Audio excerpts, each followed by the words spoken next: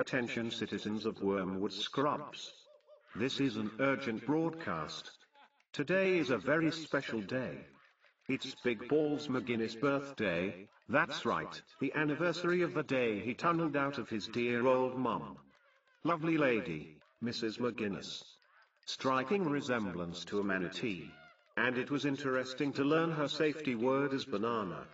Anyway, she revealed some juicy secrets about her little big balls. Numero uno. His real first name isn't Big Balls.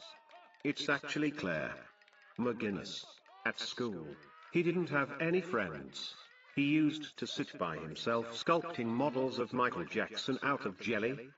Apparently, he's always enjoyed experimenting, and once got super gonorrhea from an eclair. So, happy fucking birthday, Claire. Now come and find Murdoc Niccals. He's waiting.